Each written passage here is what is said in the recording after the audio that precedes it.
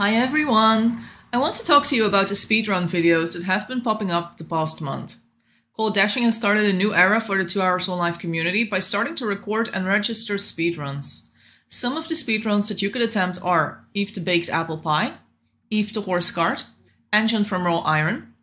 CaughtDashing has even made a playlist for you to check out with all the speedruns from everyone who has attempted any.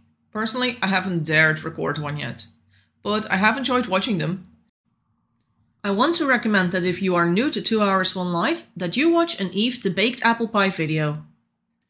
In less than 8 minutes, they show off how you can get bowls, plates, fire, and an apple pie in your camp. There's not a single video that I could make that would show off how to do that in as little time. For the pros, I'm still super impressed by how fast people like Whale and Zabala make their engines. So if you're new, go check out the speedruns to learn, and if you're not new, go watch them to be amazed. You might enjoy it. I'll link the playlist in my description. Take care everyone, and remember, eat yum, eat me.